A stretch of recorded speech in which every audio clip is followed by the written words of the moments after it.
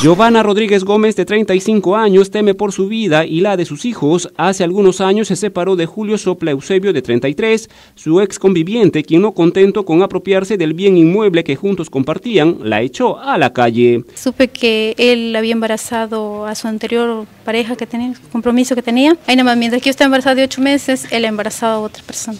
Me ha dejado sin, sin nada, sin ropa, todo se han quedado dentro los cuadernos de mis hijos, eh, colchones, todo se ha quedado dentro. La afligida mujer solo quiere recuperar las pocas cosas que adquirió con mucho esfuerzo mientras convivía con Sopla Eusebio y que éste a su vez cumpla con la pensión y manutención del hijo de ambos. Lo que quiere pasar es 100 que ofrece y al último que le aumenta la jueza 180 y total que no, no, no quiere pasar pues. Giovanna Rodríguez, quien se desempeña como profesora, intentó recuperar sus cosas prescindiendo de la ayuda necesaria, pero fue brutalmente agredida y amenazada de muerte, según aseguró. Trato de abrir la, puerta del cerrojo porque estaba cerrojado. Trato de, abrir y ahí es donde me encuentran acá que me tenían del, del cuello, porque él me dijo, de acá vas a salir muerta, es lo que me dijo de acá sales muerta porque de acá no te vas a quedar con nada, ándate así como has venido. La casa ubicada en la manzana E, lote 24, asentamiento humano Aurora Díaz, en el distrito de Salaberry, y que alguna vez habitó Giovanna, fue convertida en un taller de soldadura.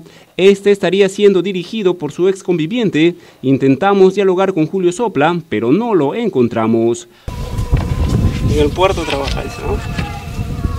¿En qué parte del puerto lo podemos ubicar en todo caso? Claro que hace el muelle, diferentes sitios ¿no? No está en un sitio peregrino. No, está en sitio peregrino. Sopla Eusebio, dedicado a labores de soldadura, fue denunciado ante las autoridades competentes por alimentos, violencia familiar y usurpación. Este último está siendo investigado por el sexto juzgado de paz letrado.